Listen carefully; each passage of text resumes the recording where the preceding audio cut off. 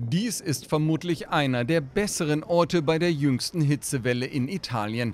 An den Stränden von Palermo auf Sizilien suchten am Sonntag hunderte Personen nach etwas Abkühlung und die wird man auch weiterhin brauchen. Denn das Land ächzt unter extrem hohen Temperaturen.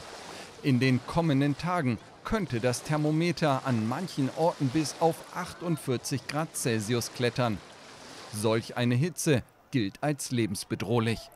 Diese Badegäste nehmen die Situation bisher noch eher gelassen.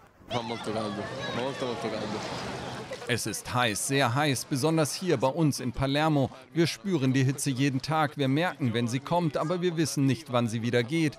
Wir versuchen uns etwas abzukühlen, zum Beispiel im Meer. Es ist auf jeden Fall heißer als in den Jahren zuvor. Das scheint normal. Alle reden darüber, auch wir. Und das Wasser ist auch wärmer geworden, wärmer als in den Jahren zuvor. Die italienischen Behörden hatten wegen der hohen Temperaturen der vergangenen Tage bereits Hitzewarnungen herausgegeben. 16 Städte sind betroffen, darunter Rom, Florenz und Bologna.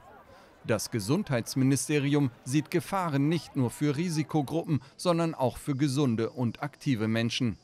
Der italienische Wetterdienst befürchtet, Zitat, eine der intensivsten Hitzewellen aller Zeiten.